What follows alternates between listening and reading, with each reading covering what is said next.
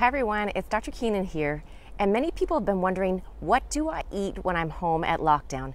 You know, it's been kind of mocked and joked that COVID 19 is in 19 pounds of weight gain that people have while they're on lockdown. So I thought about the top three best things that you can do to try to avoid that. And if you have already started gaining it, then these are tips that can, can help you to think about some changes that you can start to make that can result in weight loss.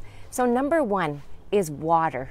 You know, if you make water the fundamental thing in your home, if you start your day with water, you are going to start to see changes. Personally, myself and patients that I've been uh, counseling for weight loss over the years, the number one tip they always have is having a steady supply of water. Most people have a water jug with them if they go out.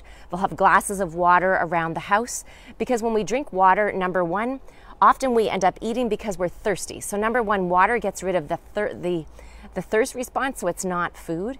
Uh, water is cleansing for our bodies. Water actually can help to rev our metabolism because our, you know, remember our cells in our body is like 70% water. So if we have enough of it, it's going to stimulate our mitochondria and it's just going to make us burn more energy. So get your water, number one. Number two, the snacks.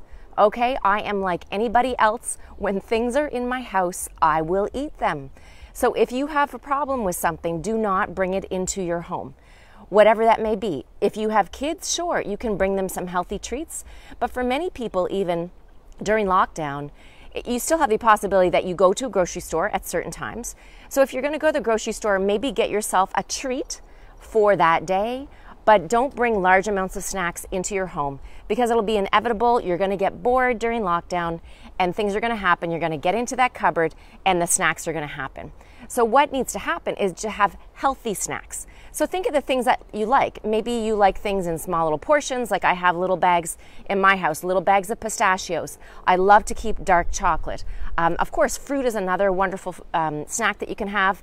Some, um, you know, Greek yogurts, that sort of thing. So, think about if you're going to be snacking, what it is that you want to snack on, and make it just a healthier choice.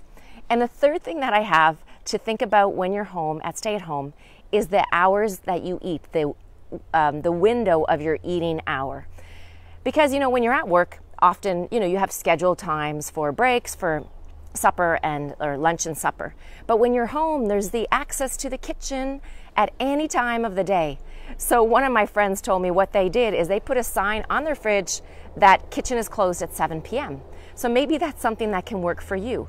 Many people will actually do what's called intermittent fasting. Now, this is an advanced step for people that are actually wanting to lose weight, or intermittent eating, I like to, I, to call it, or timed eating, where you eat like in a, an eight hour window or a 10 hour window. So, say you're going to decide we're going to have breakfast at nine and have our last meal at five or maybe if you even if you go from 8 to 6 but we know that those shorter eating hours are good for our body what it's doing actually is giving our body uh, time to rest. It's going to lower our insulin because we're not eating constantly. So think about that uh, as what's going on right now as you're staying at home. So remember water, the snacks you bring into your home, and the eating hour window. So please share for me. It would be wonderful to see your top tips of how you've been able to maintain food and your weight during this time of lockdown. As always, wishing you love, joy, and bliss. See you soon. Bye for now.